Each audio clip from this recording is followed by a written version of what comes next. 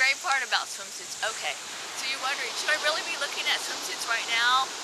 Well, it is showing up in department stores. If you don't look now, you may not find them later. That's right. In your size. Now here's the funny part is my other Ed Hardy swimsuit, as you know, is an extra small.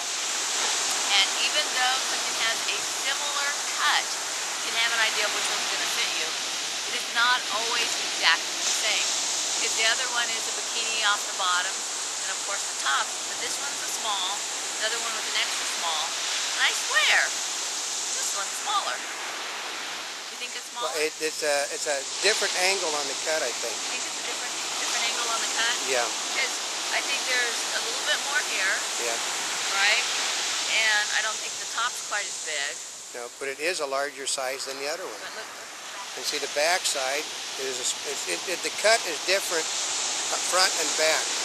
Yeah, and here's, here's part of it is when you look at the swimsuits when I first pulled them out, I thought, well, it looks like it's smaller than the extra small. But so size does not always tell you what you're going to wear. Sometimes you gotta just try them on because like, like on this one, even the I think the strings are I think the strings are even longer. Yeah, a lot longer. Yeah, than the other one.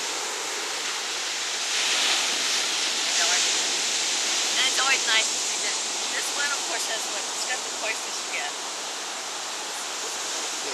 But you have to check out because they have many more swimsuits for you to see. And, And, and who got? Where did you get this swimsuit from?